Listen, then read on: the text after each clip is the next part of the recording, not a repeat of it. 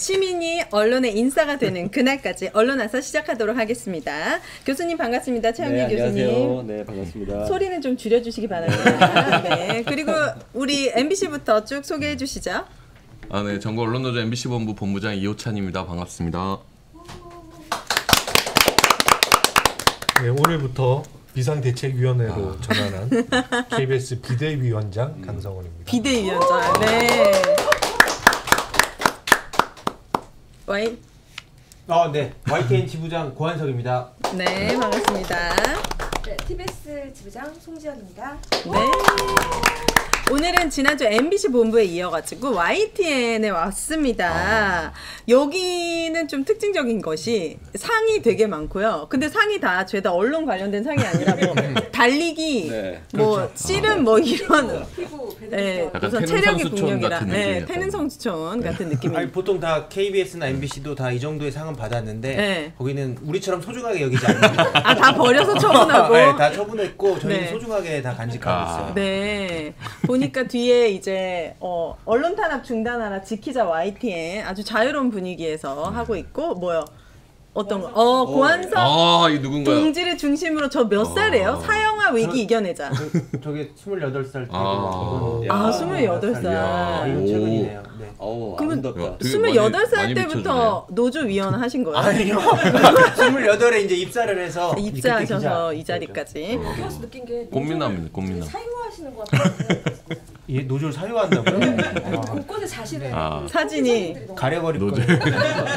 노조의 자기가- 사형화. 그리고 그쵸, 여기 강하다. 너무 좋은 게요. 네. 호텔 같아요. 여기를 나가 보니까 어. 테라스. 네. 그러니까 네. 테라스가 진짜 마음에 드네요. 아, 구해줘 홈즈처럼 이렇게 어쨌든 노조 위원분들의 아주 이런 환경이 좋기 때문에 일을 또 열심히 하셔가지고 끝까지 민영화를 막아내시기를 네. 응원하도록 저건 하겠습니다. 저걸 왜안 보여주세요? 아 저거는 진짜 민망합니다. 네. 지금 만들었는데. 네. 저게 이제 제 사진 속에 있는 어. 사람은 접니다. 네. 어, 아까 왜 저거 저거 저거 비하인드 스토리가 있는데 제가 네. MBC 뉴스 하이킥 하러 갈 때 원래 풀메 안 하잖아요. 네. 전화에 이제 제 하정우 배우님이 출연하신다 아. 해가지고 제가 풀메를 했는데 아. 출연이 불발된 거예요. 그 허무함을 이기지 못해서 제가 셀카로. 남겼습니다. 아. 네, 좋습니다. 자 그렇다면 일주일 아니, 왜 동안 저 밑에도 있는데. 어디요? 아이, 네, 밑에도 아, 오, 붙여주세요. 뱁새, 뱁새. 아. 우리 최영기 교수님 영화 배우 누구신 가요? 같아요. 학교에서 인기가 정말 많으시겠어요. 없습니다. 그럼 몇살 네. 때신가요? 저거 한 4, 5년 된 거. 아, 아, 그래요? 완전 배우. 일부러 분위기 잡으신 거죠? 네, 많이 잡았습니다. 아, 네, 최영기. 네, 좋습니다. 자, 한 주 동안 정말 많은 일들이 큰 티에서 있었습니다. 특히 오늘 좀 표정이 안 좋은 KBS 강성환 본부장님께서 할 얘기가 많으실 것 같은데 일주일 동안 공영방송에서 무슨 일이 있었는지 한번 짚고 가도록 하겠습니다. 먼저 우리 강 본부장님, 비대위원장님. 비대위원장. 예. 어떻게 무색무취라고 소문이 자자했던 KBS 배종찬의 시사본부도 지금 아, PD 소문이 났어요? 네, 파다했거든요. 근데 PD가 직무 배제가 됐고 이후 후임으로 온 PD도 제작을 거부해가지고 이게 아. 점점 이 프로그램의 소멸의 위기로 가는 게 아닌가. 그 무색에 빨간색을 타는 것 같아. 아, 빨간색을 네, 원했구나. 그 완전히 지금 이제 배종찬 시사본부 말씀을 하셨잖아요. 네. KBS는 사실 매일매일 막 이런 것들이 터져요, 지금. 아. 그래서 저희가 네. 오늘 비대위로 전환한 거 아니겠습니까? 비상대책위원회. 비상대책위원회. 네. 어, 저뭐 간단하게 경과를 좀 말씀을 좀 드리면요. 네. 어, 여기 이제 네 분의 그 패널들이 출연을 하세요. 네 분의 프- 패널들 출연하시고 아마 이 프로그램 아끼시는 분들도 많으셨을 텐데 그 청취자분들이 보실 때는 뭐 나름의 이게 균형 감각들을 맞춰서 해오던 프로그램들이고 어, 그 안에는 근데 모씨 같은 경우도 이제 뭐 보수 진영이라고 하더라도 이제 보수 참칭이다 이렇게 색깔 덮어 씌워버리는 것 같아요. 아. 네, 그래서 그냥 본인들이 볼 때 본인들이 뭐 편향됐다. 그러면 그냥 편향으로 낙인 찍어서 이제는 드러내는 수, 상황까지 지금 온 거 아닌가. 네. 그래서 고발 준비하고 계신다던데. 어, 그뭐 법적인 조치는 저희가 이제 뭐 당연히 또 음. 어, 대응을 해야 되는 거고. 부분이고요. 이런 것들은 이제 진행되는 과정이 좀 많이 문제가 큽니다. 왜냐하면 사장이 모이는 그 경영 회의라는 곳에서 진작에 어, 그 패널들 교체에 대해서 이렇게 계속한 압박이 이제 왔다는 걸로 저희는 지금 패널 하고 있어요. 교체가 있다면은 그 리스트가 있나요? 그 패, 교체해야 될 그까지는 이제 저희가 뭐 팩트로 확인하지는 못했는데 만약에 그거 사실이라면 매우 더 중차대한 문제인 거죠. 과거에 블랙리스트 관리하고 했던 것들 다 이게 유죄나고 해서는 안 되는 짓들이 일어난다는 것이고 어찌됐건 간에 그 경영회의라는 데서 어, 편성의 사장이 이렇게 패널까지 출연진까지 이렇게 관여를 만약에 하는 부분이 정말 사실이라면 그건 정말 큰 문제인 거죠. 근데 그런 이게 예. 사장이 관여하는 것도 문제인데 이게 사실상 국민의힘에서 패널 교체를 계속 요구해 왔거든요. 아. 그게 이제 공원연이라는 네. 또어그 일종의 외부 단체가 있었습니다. 아주 매우 편향된 그래서 모니터링 결과를. 가지고 음. 사실 그게 지금 나침반 같이 간다는 느낌도 음. 매우 강하게 지금 받는 거죠. 그쪽에서 편향된 프로그램이라고 낙인 찍으면 그게 지금 KBS 같은 경우는 정권에 의해서 바뀐 사장이 그 경영진들이 다시 좌표를 찍고 거기에 대한 프로그램에 MC들이 다 하차를 되고 막 패널들까지 지금 다 바뀌고 이 있는 자체가 지금 방송법이나 어떤 그 편성 규약이라든지 협약이 다 위배되는 위배되는 것들이죠. 예, 예. 음. 그러니까 크게 뭐, 뭐 좌우, 진보, 보수. 근데 진보도 엄청 다양하고 보수도 엄청 다양하잖아요. 그 정치적 색깔이 완전 1대1로 맞춘다는 게 불가능하잖아요. 네. 근데 자기들 그러니까 국, 국민의힘 지도부의 색깔도 계속 바뀐단 말이에요. 음. 그럼 거기에 맞게 그런 류의 사람만 딱딱딱 뽑아서 쓰기가 사실 어렵잖아요. 크게 이제 언론사 입장에서 범보수권, 뭐 범 진보권 이렇게 해서 이제 패널을 배치하는데 네. 자기들 이제 보수 내부에서 보수에 대한 약간 뭐 바른 말 이런 하는 패널들은 보수가 아니다라고 생각하는 거예요. 보수 진보가 아니라 네. 당파적으로 나누는 그렇죠, 거죠. 맞아요. 음. 그 당파성으로 나눈 거지 정파성으로 나눈다는 말도 사실은 정확하지 않은 것 같아요. 그런 식으로 다 그냥 당 대변인이 나와서 어. 방송 하라라고 여당이냐 뭔가 방향을 잡는 거랑 똑같죠. 이 기준으로 맞아요. 하는 거지. 네, KBS 관련해서 하나 더 얘기하면 아무래도 KBS 박민 사장님이 우리 언론화사를 즐겨 보시는 것 같아요. KBS 더 라이브 폐지라든지 박민 사장 퇴진 요구에 시청자 청원에 드디어 답을 했습니다. 우리가 저번 주인가 한번 얘기했잖아요. 왜 답 안 하냐고. 네. 네. 그랬는데 답변이 뭐라고 왔냐면은 공사의 재정 위기에 대응하기 위한 조치다. ETV의 경쟁력을 극대화할 계획이라고 했습니다. 그런데 더 라이브 같은 경우에는 전체 4위를 기록했었고 박민 사장 취임 후에 전주 대비 40만 명이 시청자가 급감했거든요. 아니 어떻게 뻔뻔하게 이렇게 시청자를 우롱하는 답변을 낼이 수가 있는 겁니까? 자체도 그러니까 사실 뭐 거의 뭐 허위 사실에 가까운 지금 답변이잖아요. 이게 그 누구나 봐도 다 지금 시청자들이 청취자들이 빠지는 게 다 보이고 좋아할 만한 프로그램부터 없어지고 그렇죠. 네. 그 아까 말씀하신 대로 뭐 시청률사의 객관적 지표라는 것들이 다 증명이 됐던 프로그램들에 대해서도 아까 우리 그 배종찬 네. 프로그램 얘기한 것처럼 그냥 색깔론 씌워버리고 하차시켜 버리고 음. 그리고 거기에는 그 공원연이라는 말도 안 되는 단체의 그 모니터링이 이게 마치 나침반처럼 공원영이요? 그 공, 공공 미디어 공정 언론 공정 언론 공정 언론 국민연대인가? 감시 연대인가? 감시 연대라고 오, 다 되게 네, 공정한 네, 느낌인데 공정 언론 감시 연대. 아니 그래서 저는 사실 지금 모니터링 관련해서 잠깐만 한 마디 더 붙이면 네. 그 이제 곧 총선이잖아요. 어제부터 이제 예비후보 등록하고 특히 이런 정치판이 벌어지는 상황에서 모니터링이라는 게 되게 중요한 거지 않습니까? 그렇죠. 어, 그래서 이런 부분들은 사실 이제 우리 민원연에서도 이런 활동도 쭉 해오고 하지만 우리 언론 노조, 이 언론 아싸라든지 이런 지금 참여하고 있는 우리 조직들 여기서도 그 모니터링에 대해서 정말로 지금 불 켜고 어. 감시 활동에 지금 들어가야 된다 이제부터는. 네. 좋습니다. 네, KBS한테는 네. 되게 좀 아픈 이야기지만 어쨌든 이 프로그램 아, 교체하고 이러면서 좀 해. 아니 늘 아파 너무 아파. 아 유튜브 조회수나 이런 것들도 깎이는 게 음. 너무 차이가 수치로. 보이는 맞아요, 기사들이 맞아요. 좀 네, 나오더라고요. 진짜. 그러니까 사장이 스스로 프로그램 경쟁력을 지금 갉아먹고 있는 건데. 그러니까요. 자, 그렇다면 TBS로 넘어가 봅니다. 이번 주 폐지 조례안 무표 확인 소송 결판 난다. 네. 무효 확인 소송. 무효하게. 아, 무 무효. 네. 제가 요즘 아, 작가님이 요새 약간, 예, 오타 멘탈이 안 들어옵니다. 네. 사실 오늘 말하기가 되게 그런 게 음. 오늘 금지어들이 되게 많더라고요. 아, 네. 그래요? 네, 제가 참담하다, 뭐 어목하다. 아, 그런 말 하면 안 돼. 네. 뭐그 말을 쓰지 말라고 하니까 이렇게 갑자기 말이, 말문이 막히네요. 네, 지금 TBS 상황을 다들 아시겠지만 지금 TBS 돈줄을 끊었잖아요. 그 돈줄을 끄는 그 근거가 되는 게 바로 음. 조례안인데 TBS를 지원해주는 조례안인데 그걸 폐지하는 조례안이 1년 전에 통과가 됐는데요. 이 조례안에 대한 소송을 저희 지, 저희 구성원들이 했습니다. 음. 재단은 빠졌지만 저희 구성원과 직능 단, 단체 그다음 개인들이 소송을 했는데요. 그러니까 폐지 조례안을 조례안이 무효라는 걸 좀 확인하는 무효 확인 소송입니다. 음. 행정 소송인데 이 결과가 이번 주 금요일에 어. 나옵니다. 아, 네. 그래서 주변에 탄원서도 쓰셨던데요. 네, 탄원서도 썼습니다. 네. 마지막으로 왜냐면 이제 정치적 해결로 이거 이 문제가 해결될 거라고 생각을 했는데 지금 어, 그 조례안이 발효된 시점이 지금 보름밖에 안 남았는데도 정치적 해결이 안 되고 있잖아요. 그래서 남은 거는 이제는 법적인 어, 판단을 받는 건데요. 이 예측은 조례안- 어떻게 하세요? 예측을 좀 긍정적으로 예측은. 음, 지금 이 조례안 무효 확인 소송이 인용되느냐 음. 아니냐의 문제보다 원고 적격성에 대한 문제가 음. 지금 더 중요해요. 서울시에서는 재단이 참여하지 않았기 때문에 구성원들이 어. 이 소송을 제기한 것은 무효다. 네, 무효다. 아, 네. 음. 그래서 혹시 각하가 나올 가능성도 있는데 네. 어, 저는 판사가 저희 저희 대한민국 법치가 제대로 살아 있다고 하면 최소한 무효 확인 소송에서 인용은 안 되더라도 저희가 가처분 시정도 같이 했거든요. 예. 네.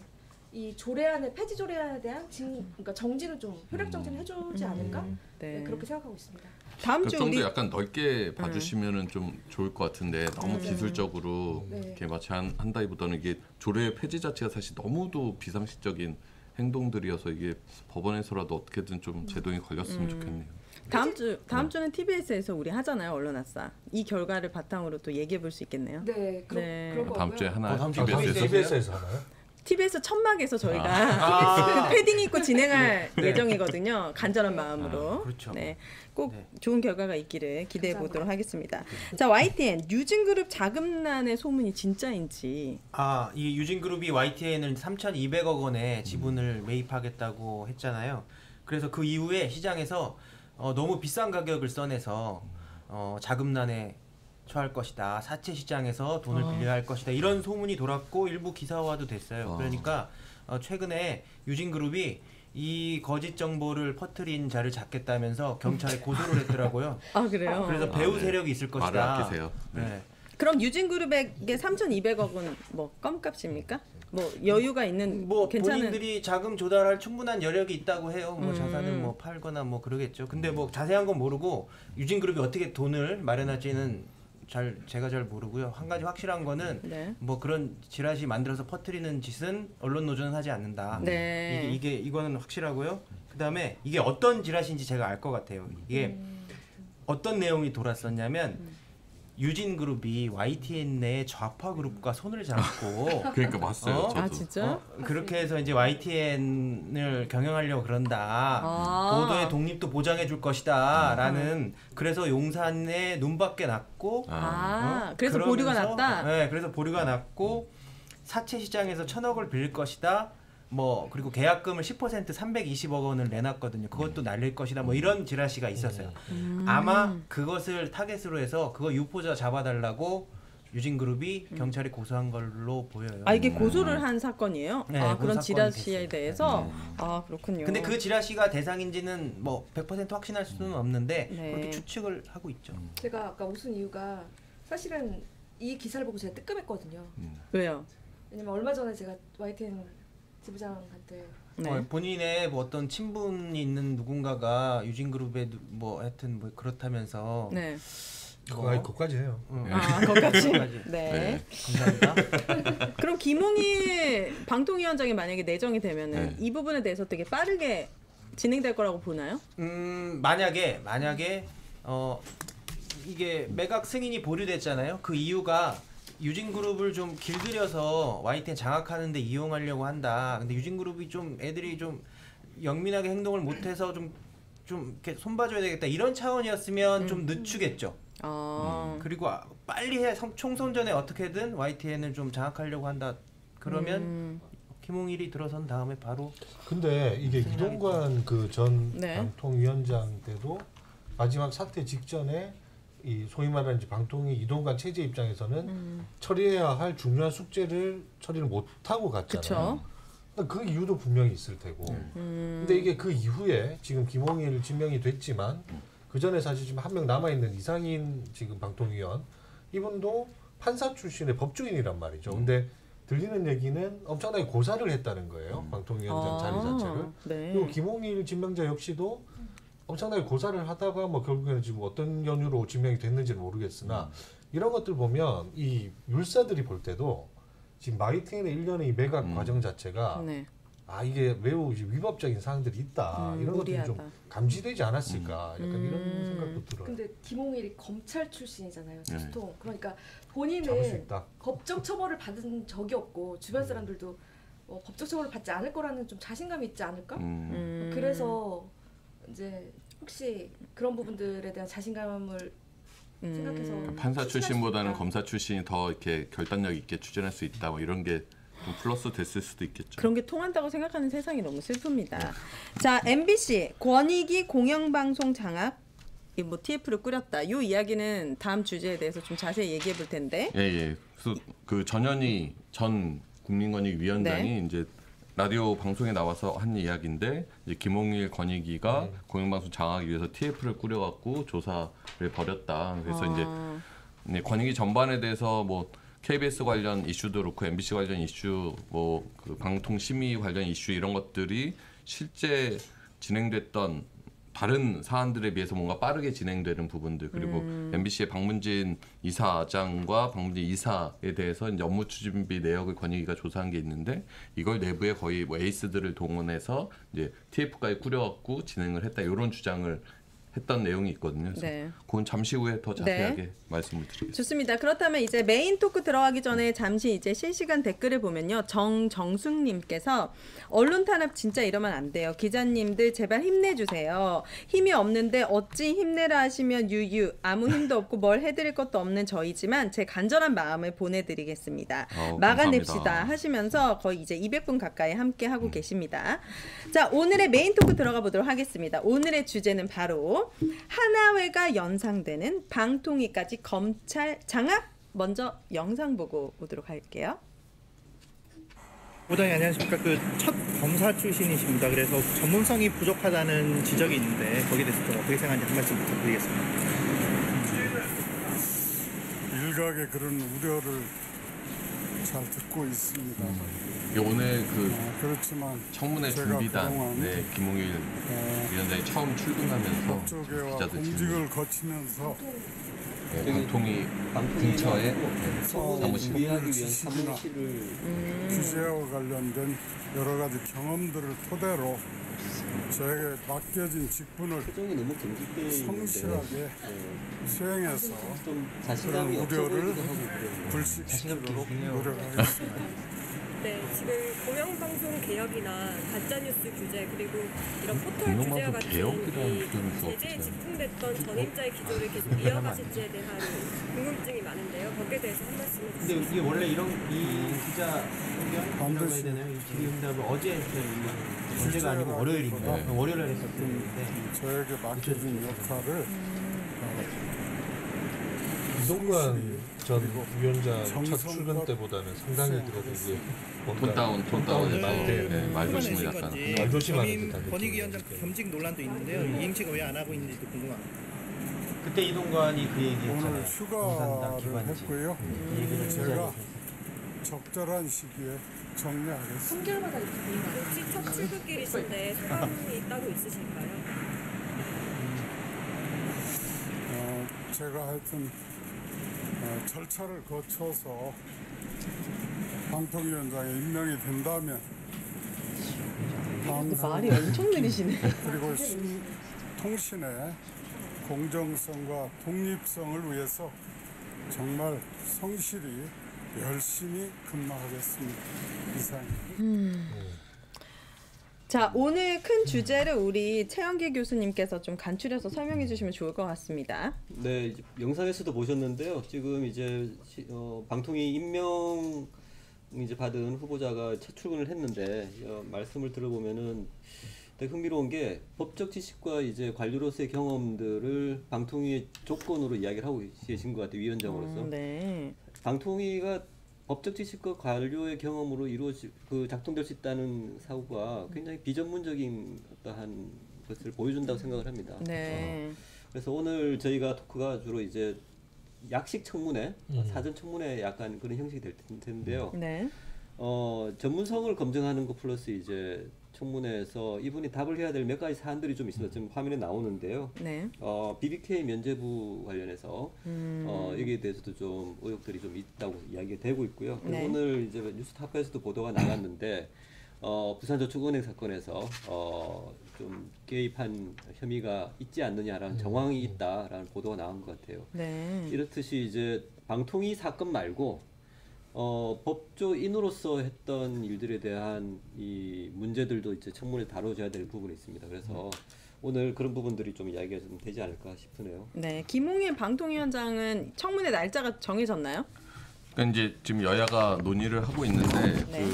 그윤 대통령이 국회 8일인가요? 예, 12월 8일에 이제 청문 요청 서를 제출을 했어요. 그러면 20일 이내에 청문회를 열게 돼 있어서 지금 민주당 쪽은 뭐 27일이나 28일 이쯤에 청문회 열자라고 주장을 하고 있고 국민의힘은 최대한 앞당겨서 하자 해서 크리스마스 이전에 하자 이러면서 뭐 22일 그때 열자라는 주장도 있어서 곧좀그 서로 협상을 좀 해야 되는 상황이고 네. 그 20일이 지나고 나면 이제 청문회에서 뭐 청문 보고서 채택을 하냐 마냐 이제 논쟁이 아마 벌어질 거고 그래서 이제 그 대통령실로 넘어가면 대통령이 이제 다시 한번 그 결정을 빨리 해달라고 이제 재송부라는 절차를 거치는데 그걸 10일 이내에 결정하게 돼 있거든요. 그건 네. 대통령이 그냥 뭐 언제까지 해주세요라고 정하면 되는 거라서 이르면은 12월 안에도 그냥 임명을 강행할 수 있고 아. 늦어도 1월 초에는 대통령이 임명을 강행할 수 있는 그런 스케줄이에요. 그리고 어. 저는 아까 저거 보면서 우리가 보통 이제 저런 거 하면 기자들이 아마 질문을 서로 좀 정리해서 누군가 대표로 물어보고 뭐 이런 아마 했을 텐데 이게 첫날이고 하니까 약간의 좀 톤 다운을 해서 좀 질문을 한 것 같은 느낌. 그래서 음. 당장 가장 크게는 김홍일 관련해서 뭐 전문성에 대한 우려도 있지만 네. 음, 대통령과 가장 친분 있는 대통령이 가장 존경하는 선배 그다음에 이제 독립성을 지킬 수 그러니까요. 있을 것인가.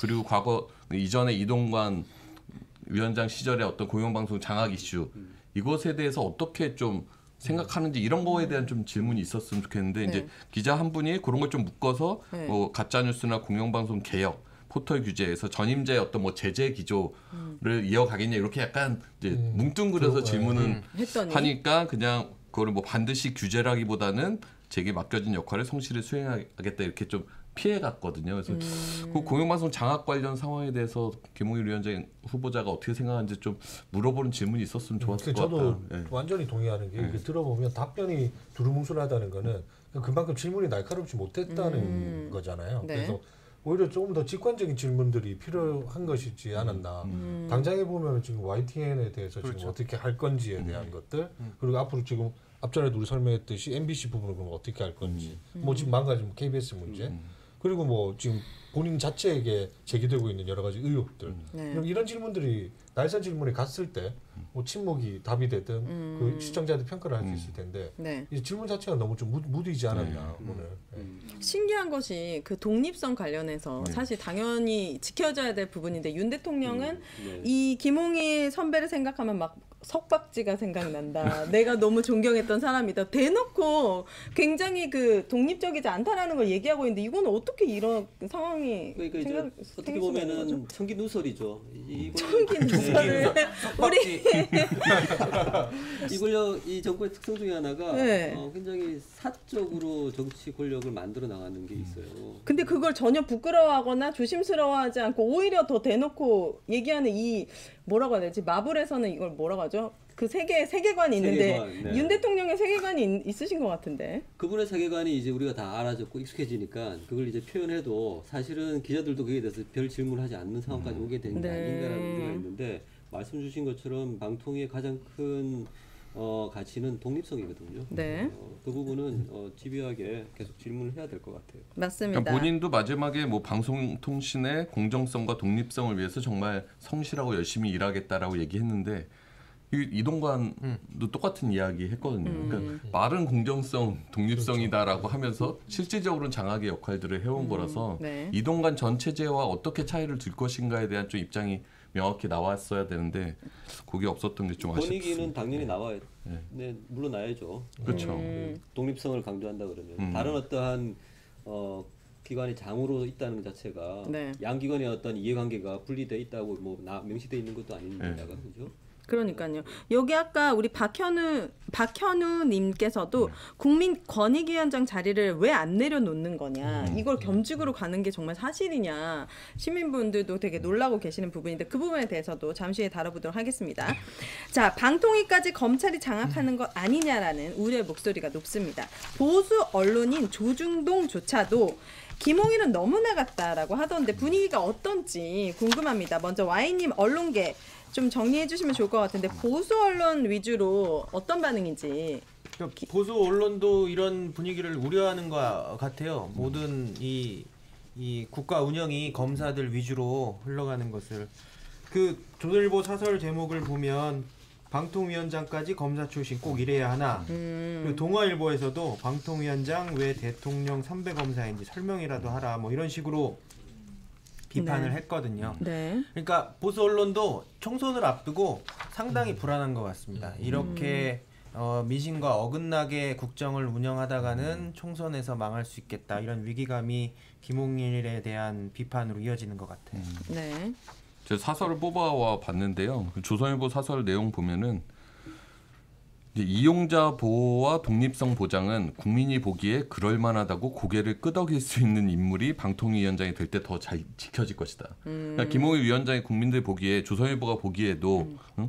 끄, 고개를 끄덕일 수 있는 인물이 아니다라는 얘기잖아요. 네. 동아일보는 되게 부드럽게 표현했네 그래도. 네.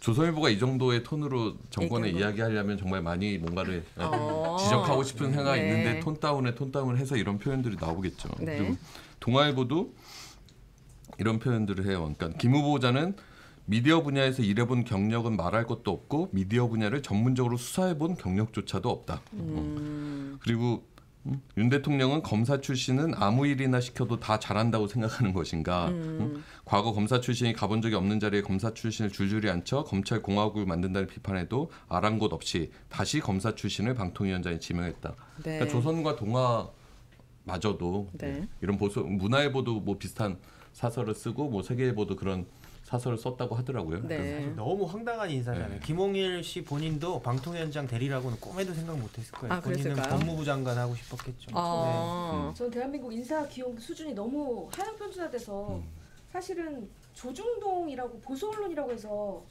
어, 수사해본 경력조차 없다라는 음. 그런 식으로 표현을 한다는 것 자체가 좀 되게 우습다는 생각이 들고 음. 당연히 전문성이 없는데 만약에 예를 들어서 이게 문재인 정권이었는데 이런 인사를 했다 그럼 네. 조중동이 가만히 있었을까라는 생각이 좀 들긴 해요. 네. 여론조사 꽃 결과도 우리 티님이 소개를 좀 해줘 보시죠. 어 갑작스럽게 네 지금 네. 어 지금 여론도 되게 좋지 않거든요. 지금 여론조사 꽃에서 김홍일 방통위원장 임명에 관한 여론조사를 실시를 했습니다. 음. 근데 결과가 좀 두 배 많게 네. 60%가 그 언론과 무관한 검사 출신 지명은 방송 장악 의도로 바람직하지 않다가 60% 어, 네. 가까이 나왔고요. 넘게 나왔고요. 가짜 뉴스 문제가 심각하므로 검사 출신 기용은 바람직하다가 29%.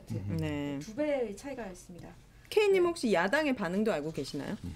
뭐 야당의 반응이 굳이 네. 그뭐 언급하지 않아도 되는 게 이미 이호찬 본부장 말씀하신 것처럼 뭐 보수 언론에서조차 이렇게 사설을 통해서 부적절하다고 얘기하고 있잖아요. 그리고 네. 여론조사라는 국민적 인식이 이 사람 부적절하다. 그리고 아니 뭐 검찰 출신이다의 방점이 있는 게 아니고요. 이 사람은 그 검찰 출신에 대한 방점 플러스 방송의 방자도 모르는 양반이에요. 근데 그렇네요. 지금까지 방통위 체제에서 그런 사람들이 온 거는 아마 제 기억에는 없거든요. 이게 뭐 음. 현기 교수님께서 기억 혹시 뭐 좀 설명해 주실 검찰 수 출신이? 온 건 15년 동안 한 번도 없다라고 예. 그러니까 방송에 나오죠. 관련된 어떤 네. 이런 이해를 갖지 않은 사람이 이렇게 이 기관의 장으로 온 적은 제 기억에는 없는 것 같습니다. 최시중 씨가 방통이 방송 경험이 있지는 않았던 것 같아요. 음. 근데 이제 그분이 그래도 이렇게 여론조사 행정- 업체 뭐 이런 거 행정이나 갤럽 조정 이런 네. 역할 그런 것들이 탁월했다고 알고 네. 있고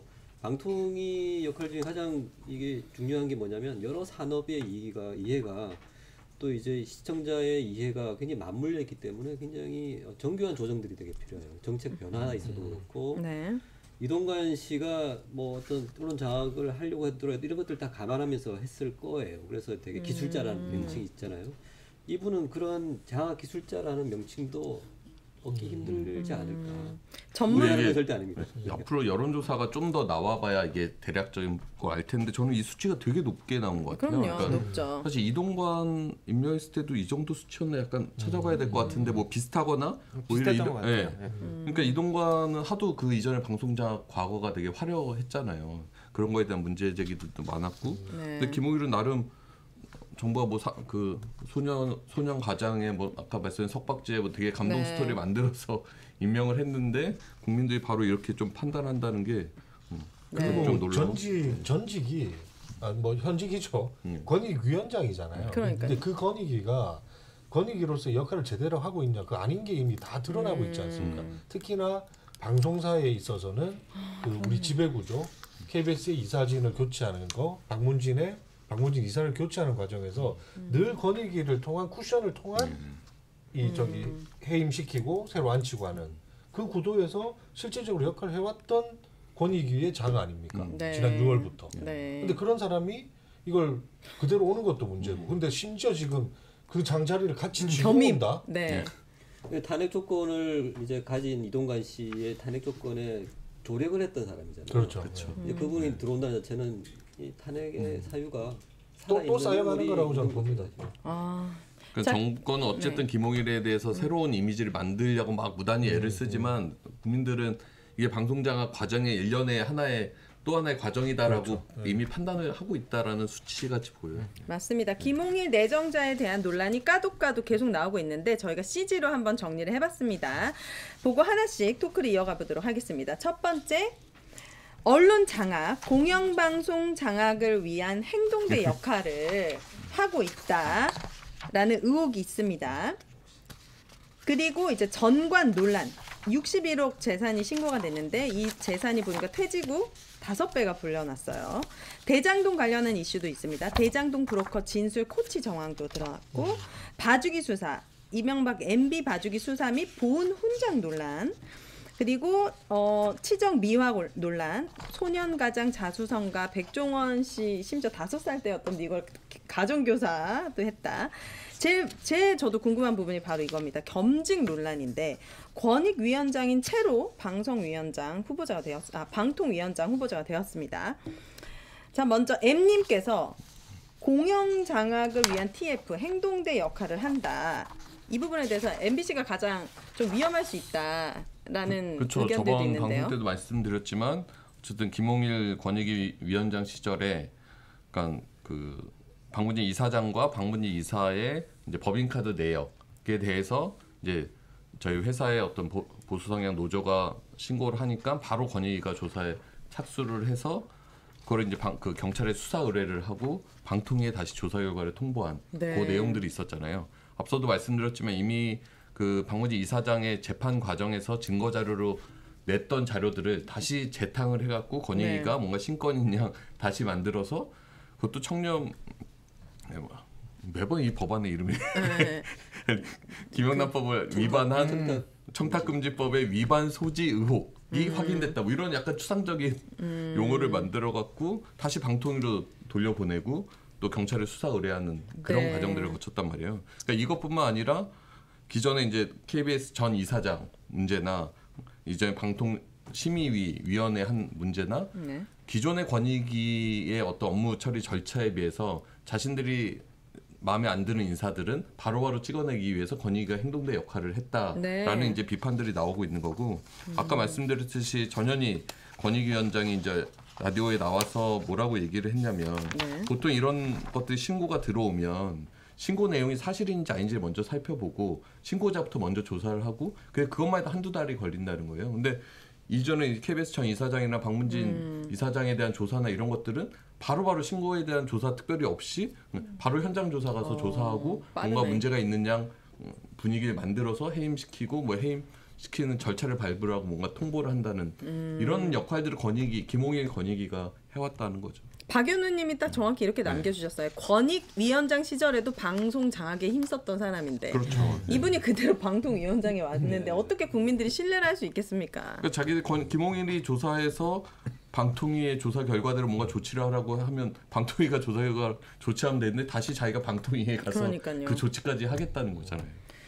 네. 자, K님께서는 이 대장동 관련한 이슈를 좀 설명해 주시면 좋을 것 같아요. 음, 이게 이제 뭐냐면요. 네. 대장동 브로커에게 진술을 코치했다는 이 정황. 네.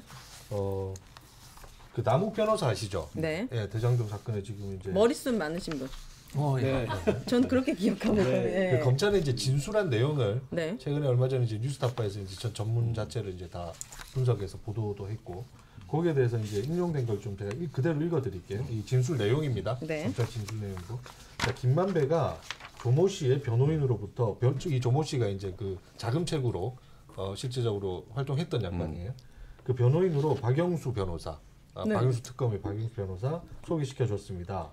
그리고 김만배가 당시 중수부장이던 김홍일 검사장에게 이 조모 씨에게 어 사건 조모 씨가 이 사건에 협조를 할 테니까 좀 잘좀 봐달라는 취지로 부탁을 했다고 했습니다. 그리고 2011년 8월경에 중수부장이 다른 사람으로 바뀌었고 그 중수부장에게도 같은 취지로 부탁을 했다. 그래서 결국에는 그 우리 대장동 사건의 대출 브로커에게 법적인 어 일종의 이제 조력을 음. 준 양반이 이 김홍일이다. 어, 아, 이렇게 이제 연결이 되는 거죠. 정황이 있군요. 본인은 여기에 대해서 인정을 가타부터 안 하고 있는 상황인데 청문회 때 그러면 예, 그 조우영, 조우영 씨에 대한 변호를 이제 법무법인 세종에서 맡았는데 이제 김홍일 그 이전 이제 부산 고검까지 검사장까지 하고 이제 세종에서 일을 했거든요. 근데 변호인 명단에 이름은 없는데 남욱 변호사의 진술을 통해서 음. 김만배가 김홍일에게 뭔가 조우영을 도와주라고 하는 어떤 부탁을 했다라는 주장들이 나오는 거고 네. 실제 그래서 김홍일 씨가 조우영에게 어떻게 이제 뭐 협조를 하다는 검찰 수사에 음. 뭐 협조를 했다든지 뭔가 도와준 정황이 있는 거 아니냐 이런 의혹이 좀 있는 거죠. 음, 네. 그래서 그 크게 보면 이제 대장동 의, 의혹의 그 실제적인 그 브로커의 법조 조력을 했다. 예. 그거랑 어, 지난 시간에도 저희가 좀 언급했지만 이제 BBK 사건 음. 같은 경우에도 그때는 이제 실제적인 수사 담당 어, 검사로서 네. 사실상 면죄부를 줬다는 게 이제 드러났잖아요. 네. 자 이런 그 검사로서의 캐리어를 가진 양반이 실제로 이제 부산 고검장으로 한 10여 년 전에 퇴임을 하고 나서 네. 다시 이제 모 유력한 법무법인에 취업을 했어요. 그리고 대기업들의 뭐 음료회사, 뭐 건설사 이런 데 사회 이사로도 이제 활동을 하면서 실제로 재산 증식이 49억 정도가 이렇게? 늘었습니다. 10억 네. 동안. 네. 뭐 부동산이야. 뭐 집값 오르는 거는 자기 뭐 그러니까 컨트롤할 수 없는 부분이라 하더라도 실제로 예금 부분이 20억이 늘었어요. 20억이. 오. 현금이 20억. 네. 자, 그럼 이런 것들은 당연히 이제 일반 상식으로 이게 정관 예우가 작동을 했겠구나 볼 수밖에 없는 거잖아요. 네. 근데 이 사람이 그럼 검사 시절에 어떤 검사로서의 사건들을 다뤘냐. 음. 근데 이런 나오는 것들은 보면 BBK 면죄부 줬던 거. 그러면서 나중에 실제로 뭐 훈장도 받아가죠. 그리고 그러니까요. 대장동 사건에도 이렇게 핵심 진술자들이 이런 핵심 진술들을 하고 있는 거. 음. 그 검사로서도 그런 캐리어들을 가져왔다는 걸로밖에 안 보이는 거죠. 그러니까 MB 봐주기 수사미 보은 훈장 논란 관련해서는 네. 정말 YTN이 좀 설명해 주시죠. 네, 네. 이게 지난 대선에서 대장동 사건이 되게 이슈였죠. 핵 이슈였잖아요. 그 2007년 17대 대선에서 BBK 사건은 대장동하고는 비교도 안 될 만큼 폭발적인 사건이었어요. 네. 당시에 이명박 후보가 낙마하느냐 마느냐를 결정하는데 거기에 면죄부를 준 게 김홍일 당시 서울중앙지검 3차장입니다. 네. 아 저는 당시에 어, 기자였고 그때 김홍일 3차장이 그 브리핑하던 그 모습이 아직도 정말 눈에 선해요. 아, 그 자리에 있었나요? 그 자리에 있진 않고 텔레비로 봤습니다. 아, 네네. 그때 왜냐하면 제 동기가 그걸 취재한다고 당시 이명박의 동업자 김경준 씨라고 있어요. 그 사람이 미국에서 들어오니 많이 하는데 기- 미국까지 가서 취재를 했다고요. 어, 네. 그래서 당시 상황이 기억나는데 그때 김홍일 3차장이 어떻게 발표를 했냐면 검찰에서 할 수 있는 모든 조사를 다 하여도 음. 다스가 이 후보의 소유라고 인정할 만한 증거가 발견되지 않아 이 부분도 혐의 없으므로 불기소 처분했습니다. 근데 지금 다스는 누구 거냐라고 했을 때 이명박 거라는 거는 국민적인 상식 아닌가요? 상식이고 윤석열 검찰총장이었나요? 네. 그 그분이 중앙지검장 중앙지검 시절에 예. 시절 때 밝혀냈잖아요. 네. 그 이후로도 뭐 검찰이 이런 식의 봐주기 음. 수사나 기소권 남용을 한 적이 수없이 많죠. 저는 근데 음. 검찰이 정의를 얘기할 자격이 없는 명백한 이유가 이 BBK 수사 사건이라고 생각을 해요. 네. 그래서 개인적으로 대단히 분노하고 화가 나고요. 그러고 군대 나서 훈장을 받았다는 네. 거. 그리고 나서 이명박 씨가 대통령이 되죠. 네. 그리고 두 달 뒤에 김홍일 씨한테 훈장을 줍니다. 이 YTN 단독 근- 보도. 아 예, YTN 단독 보도로. 네, YTN 단독 아, 보도로 훌륭한 보도. 네. 황조 근정 훈장이라는 건데 네. 근정 훈장이라는 건 원래 공무원들한테 주는 거래요. 공무원분들은 받으면 되게 명예로운 네. 거고 황조 근전 근, 황조는 총 다섯 단계가 있는데 두 번째로 높은 거랍니다. 음, 제일 높은 훈장 이름은 청조예요. 청조. 청조. 청조. 전청조랑은 관계는 없습니다. 없고 아유, 근데 이. 훈장 내용이 대박이에요. 17대 네. 대선 관련 사건을 중립 적 자세로 엄정하게 처리하여서 이상을 줬다는 거잖아요. 그렇죠. 이렇게 대놓고 그렇게 수 있는 그러니까 거예요? 본 거죠. 아니 이게 무슨 일이에요? 이 정권에서는 공정을 이제 이런 식으로 쓰는데 그때는 중립을. 하지만 2008년도에는 이랬지만 2018년 10년이 지난 후 윤석열 서울중앙지검장은 다스 소유자는 MB라는 혐의를 포함해 기소했고 대법원은 이명박에게 징역 17년 벌금 130억 원 추징금 57억 8천 어 8천만 원을 확정시켰으나 윤석열 대통령의 당선은 어떻게 됐습니까? 사면해주고 자기네들끼리 북치고 장구치고 막 죄인을 넣었다가 빼주고 이래 되는 거예요? 윤석열 대통령이 가장 존경하는 선배 김홍일 검사가 어, 이렇게 수사를 한 거를 엎은 거잖아요. 네. 그러, 존경하신 분의 어 수사를 이렇게 엎은 건데 그거는 이분 별개인가 사과. 한 번 했나요? 기억이 잘 안 나는데 자기가 아니- 면죄부 줘놓고 이렇게 결론 나왔으면 사실 아니 되는 본인이? 사과하고 훈장도 반납하고 네. 훈장으로 받은 뭐 어떤 이익 같은 것도 다 반납해야 돼요. 아 정말 진짜 이거 BBK 볼 때마다 네. 너무 너무 화가 나는 거죠. 그렇네요. 이분들의 그 세계관은 정말 저희가 너무 상식적으로 이해하기가 힘든 것 아니, 같습니다. 그리고 이 모든 일들이 이 코미디 같은 일들이 검찰이라는 특정 집단에서 다 일어난 일이잖아요. 네. 대한민국의 국정을 음, 네. 검, 언론 개혁과 검찰 개혁이 시급하다라는 것을 우리가 느낄 수 있었고, 자. 윤 대통령이 김홍희를 추천했던 이유가 자수성가에서 방송 통신 분야의 국민 입장에서 아마 바라볼 수 있을 것이다라는 얘기를 했어요. 자수성가랑 국민 입장이랑 뭐- 구- 무슨 상관이라는 거죠? 모든 국민이 퇴직 후에 재산이 이렇게 다섯 배 이상씩 증식하기 좀 힘들거든요. 이런 좀 미화시키는 부분. 네. 검사 출신으로 분야 전문성이 없다라는 거에 대한 예, 대응이 자수성가 스토리 가진 네. 부모 어린 시절 부모님 여이고 소년 가장으로 동생을 홀로 챙긴 자수성가 스토리를 가진 인물. 저희 외삼촌도 사실은 비슷하거든요. 방송 현장으로 누구시? 한번 아니, 네, 저 추천을 외삼, 예, 외삼촌께서도 지금 소년 가장으로 홀로 자수성가를 하셨어요. 그래서 어, 이거. 보면서 되게 네. 어, 이런 인물 되게 전화, 많은데 전화 연결 한번 할까요? 이런 생각 들었고 여기서 백종원 대표와 각별한 인연이 또 왜 나오는지 그것도 심지어 다섯 살에 했었던 이야기.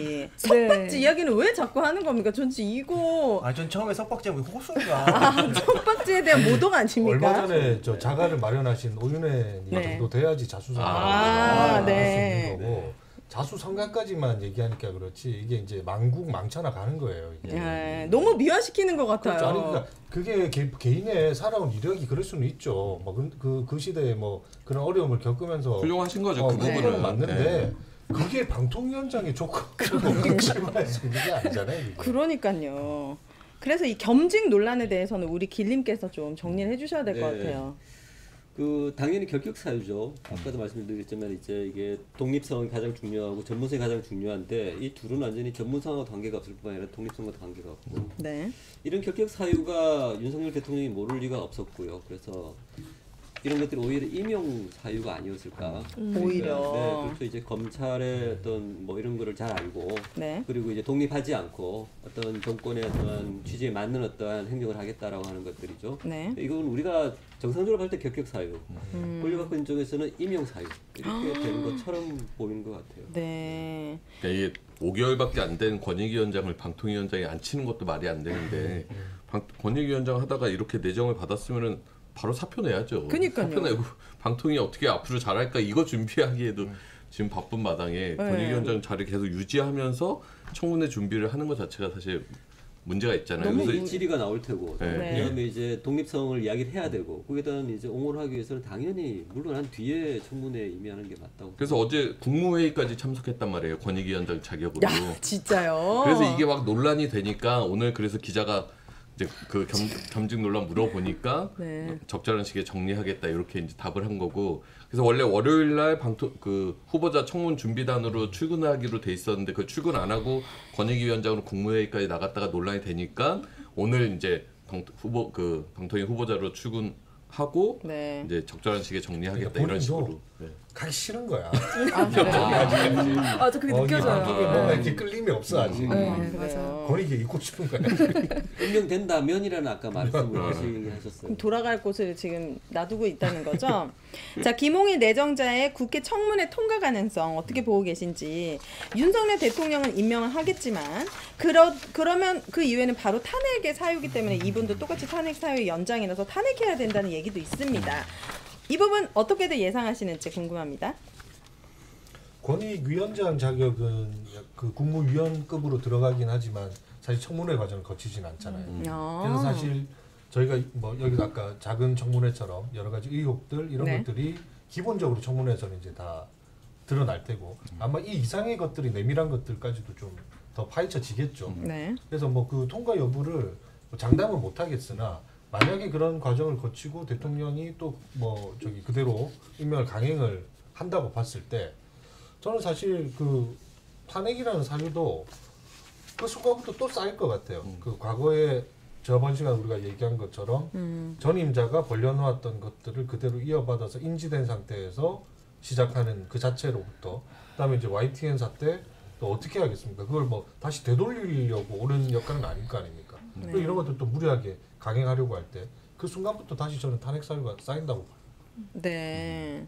근데 KBS, MBC 관련해서 권익위에서 했던 어떤 처분이라고 해야 되나요? 어떤 결정들이 있잖아요. 그거 관련해서 방통위에서 뭔가를 하려면 다 기피 신청을 해야 되는 거 아닌가요?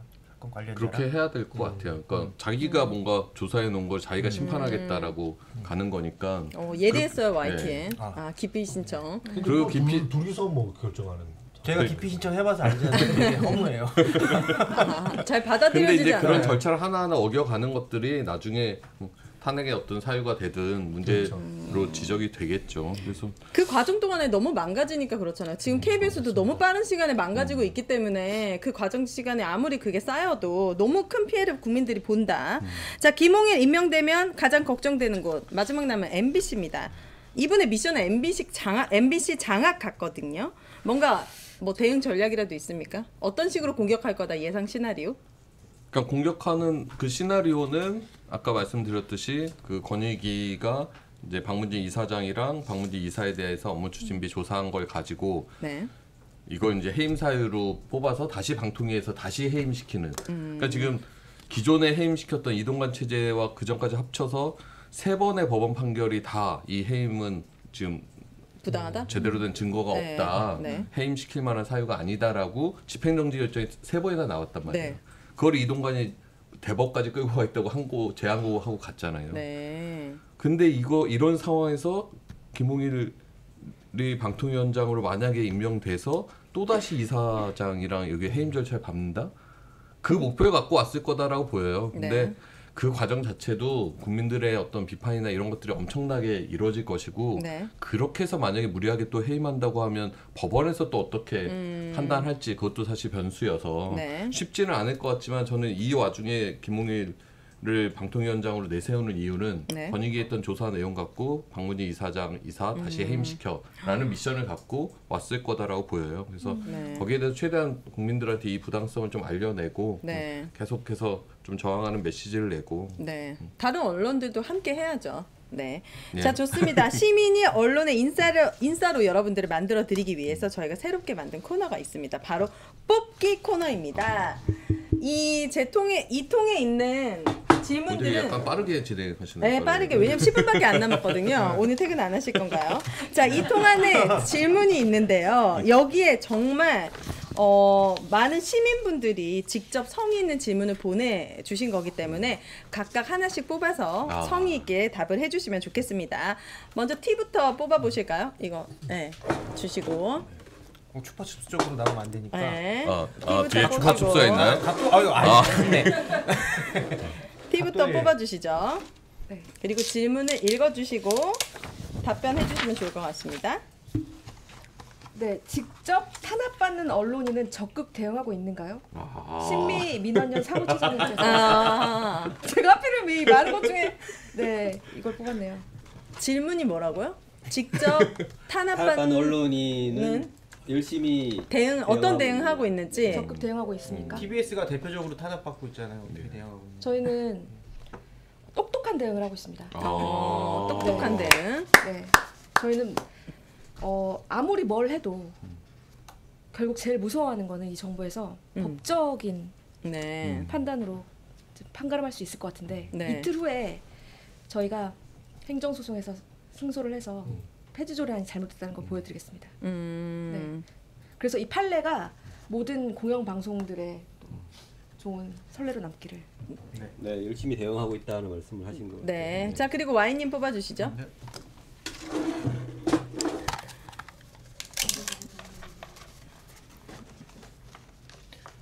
이용성 MBC 시청자위원께서 네. 질문을 하셨습니다.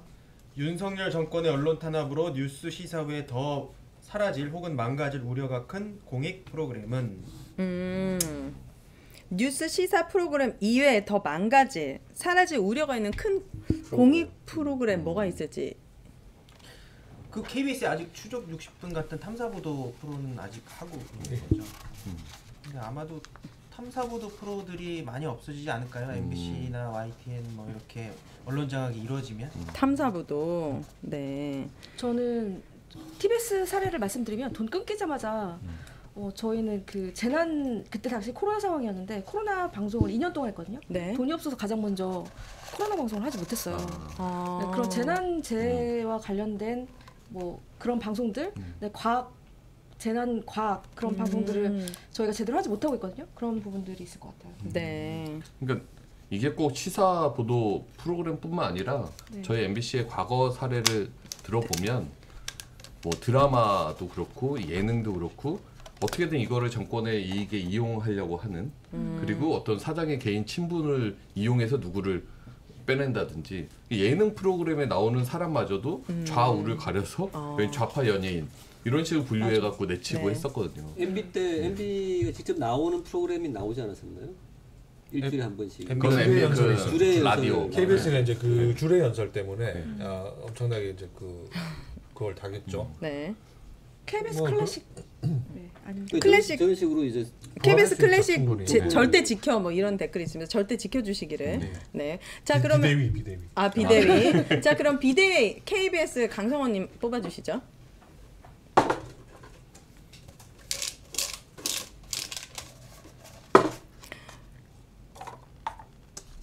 혼자만 알고 있는 거 아닙니까? 읽어 주시죠 아, 아, 질문을. 읽어- 네. 이렇게 익명의 언론인이시라고 네. 정권의 무도한 언론 탄압이 계속되는데 시민들은 미온적입니다.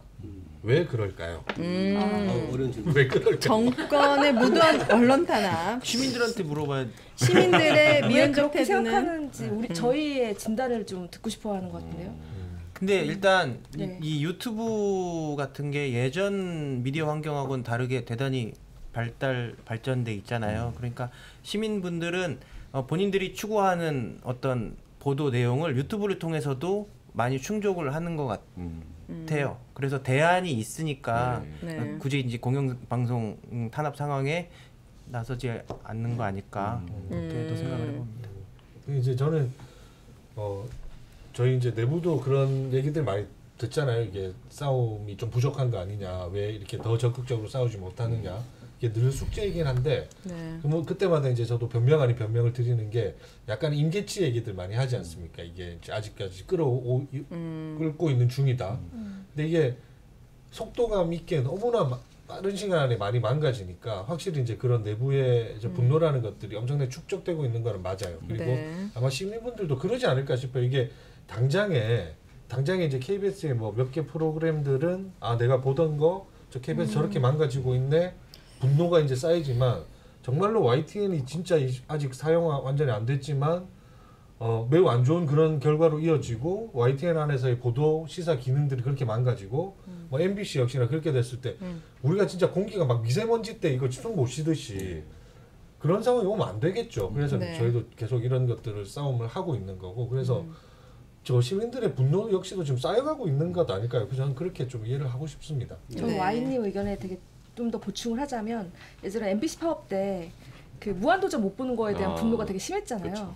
근데 저희 TBS 같은 경우에 김어준의 뉴스공장이 음. 없어져서 만약에 보- 들을 수 없었다면 시민들의 분노가 굉장히 끌어올랐을 것 같아요. 음. 근데 들을 수가 있잖아요. 음. 다, 다만 TBS에서 라디오로 못 들을 뿐이지 어, 사람들은 그걸 들을 수 있단 말이에요. 그런 부분들이 좀 있는 것 같아요. 절대 못 절대 사수해야 될 프로그램들이 다시 유튜브나 다른 곳에서 들을 수 있다는 거 그런 그러니까 저희도 내부적으로. 노력을 네. 해야 되는 게 말씀하셨듯이 2012년 파업이나 이럴 때만 해도 아, 이 방송에서 이 프로그램 진짜 보고 싶다. 네. 공영방송이 뭔가 멈추면 음. 아내 삶 자체가 너무 이렇게 재미없어지는 네. 뭔가 의미 없어지는 그런 프로그램들이 있었단 말이에요. 그러니까 그런 것들을 공영방송이 왜 필요한지에 대해서 시민들이 더 체감할 수 있게 저희도 노력해야 될 부분이 있는 것 같고 근데 네. 저는 미온적이다라고 하는 거는 지금 이제 눈앞에 보이는 게 없어서라고 생각이 들지만 아까 여론조사만 봐도 그러니까 김호일 방통위원장의 부적격성에 대해서 60%가 반대한다라는 거는 저는 절대 미온적이지 않다라고 생각해요. 그러니까 아까 KBS 상황도 임계치로 하나하나 쌓이고 있듯이 시민분들도 아, 공영방송이 뭔가 탄압받고 장악되는 과정에 대해서 되게 분노하고 있고 네. KBS에 대해서 평소에 그렇게까지만 생각하지 않지만 평- 저렇게 막 탄압받고 하니까 관심들이 되게 많이 늘어나고 같이 분노해 주시잖아요. 그래서 네. 저는 그런 것들이 쌓여가면 어느 순간 이게 심판의 과정으로 이어지지 않을까 싶어요. 전 총선이 얼마 남지 않은 것도 사실 그때 뭔가를 마음속에 끊는 뭔가를 하자라는 뭐 그럴 생각 하지 않. 예. 하지 않을까라는 생각을 좀 들기도 또 합니다. 유튜브 대안론에 대해서 또 말씀드리면 음. 저는 지부장이라고 불리지만 이제 MBC, KBS는 본부장이라고 불리잖아요. 그게 조합원이 천 명이 넘으면 본부가 되거든요. KBS, MBC, SBS 비롯해서 공영방송들이나 뭐 YTN 포함해서 그 취재 기자나 이런, 이런 보도 인력이 압도적으로 많아요. 그러니까 유튜브 생태계가 어떻게 돌아가냐면 결국에는 공영방송들의 취재 보도물을 바탕으로 해서 거기에 대해 논평을 하거나 거기에 대해서 뭐 한 진일보된 취재를 하거나 그러거든요. 근데 완전히 공영방송들이 제대로 된 보도 기능을 잃어버리게 되면 결국엔 유튜브 생태계도 무너지게 될 거예요. 그럼요. 유튜브는 확증 평양의 표본이 될 수도 있는 것 같아요. 음.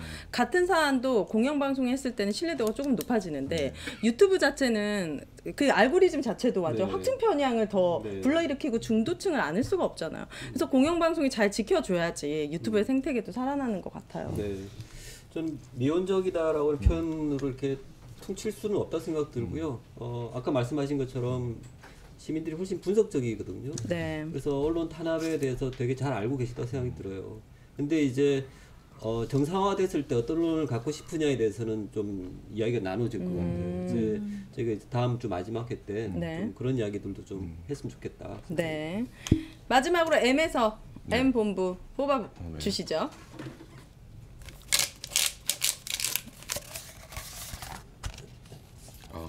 뭡니까? 질문 읽어주시죠. 익명의 시청자 지금 우리 했던 고 비슷한데요. 공영방송 역할이 왜 중요한가요? 음.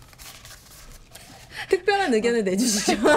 우리가 했던 거. 지금 언론에서 1회부터 지금까지 계속 얘기하고 있었던 주제 같아요. 공영방송 역할. 왜 맞아요. 중요해요?